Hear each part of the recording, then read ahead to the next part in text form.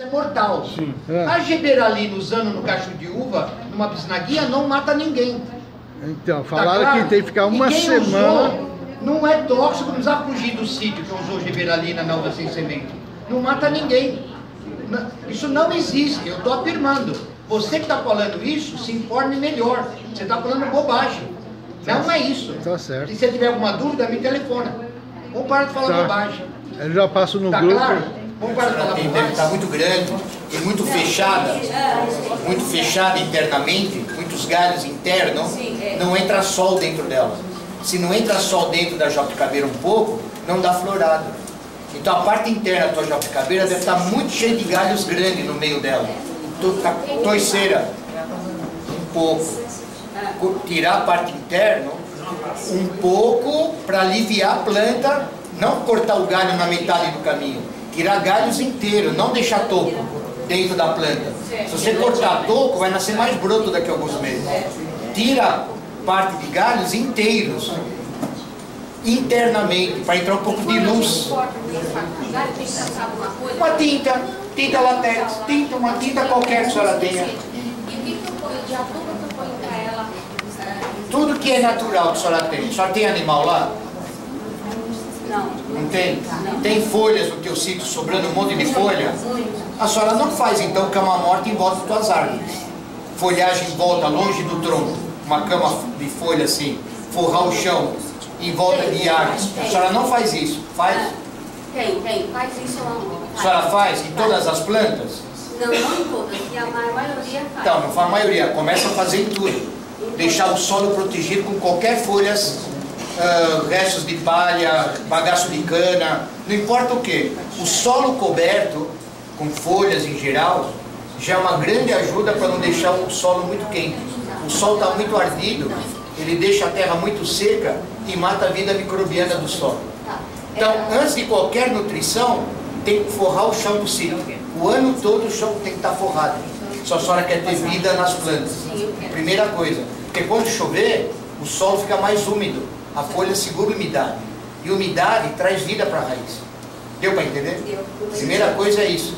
Então, primeiro a senhora tira alguns galhos internos da jabuticabeira, para entrar um pouco de luz solar. Ela vai começar a recuperar de pouquinho já para começar a dar florada. Só porque vai entrar luz solar.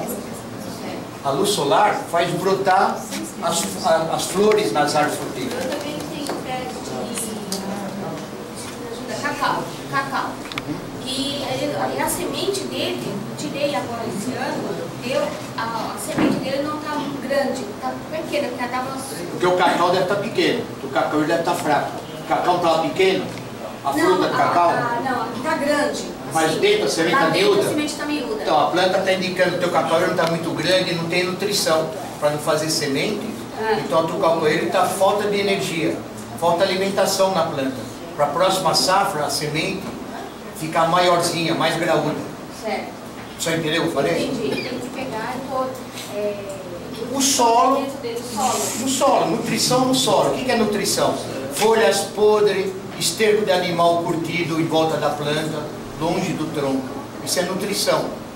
Deu para entender? E tirar um pouco do galho de cacaueiro. Se está muito grande, alivia um pouco os galhos. Cacaueiro, o seu cacaueiro está muito no sol ou está embaixo da sombra? Não, acho que ele- o caseiro podou. Sim, entendeu? Então. Podou como? O que, que, é- que- o que é podar? O que, ele fez? Meteu o facão? Meteu o facão? Não, eu vou- eu Não, vou- Bastante cacau, assim, Então, tudo bem. Mas essa planta está no sol ou está embaixo de sombra? lá no sol. Errado. O cacaueiro só produz melhor embaixo de árvore. É a única planta que, que vive abaixo da floresta. Se ele pega sol permanente, ela começa a regredir com o tempo. Então, um dos teus problemas é sol intenso no cacaueiro. Errado. Cacaueiro é plantado perto de bananeiro, lugar mais sombreado. Porque o cacaueiro é uma planta que veio do México. E ela só produz melhor meio sombreamento. Então, ela é plantada abaixo de árvores de médio porte. Ela não gosta de sol intenso. Ela sofre. Outras árvores frutíferas quer sol intenso. Cacaueiro não. Deu para entender? Entendeu? Entendeu? O jabuticaba precisa de sol. Ele pede de. Cacau ao contrário. Menos sol, mais sombra. É que nem o palmito. O palmito também, que ele não dá muito, muito sol. Isso, meio sombreado. Então o cacaueiro é um, é um deles que não gosta de sol em cima dele.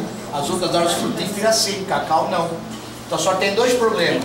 Que o cacaueiro está sozinho, tomando sol, não tem nutrição, por isso que a fruta, que é a semente interna, é, ele está miudinho.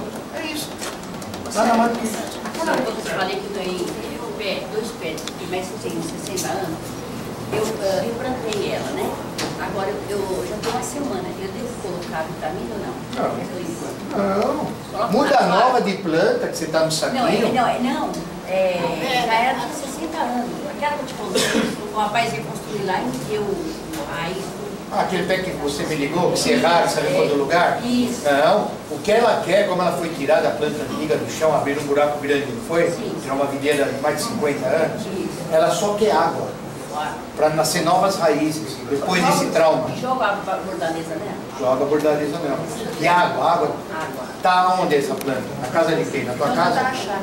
E Quem, quem tá lá? Ninguém, mas eu vou sentir assim Não, tá bom. Água, água. Pelo menos, no mínimo, 30 litros de água de acimentar. Até final de setembro. Tem cobertura morta? Colocou palhada em volta dela? Ok, mas agora Põe, colocar. ponha e rega bastante. Aí ele vai começar a brotar lá para começo de outubro. Entendeu? Isso aqui é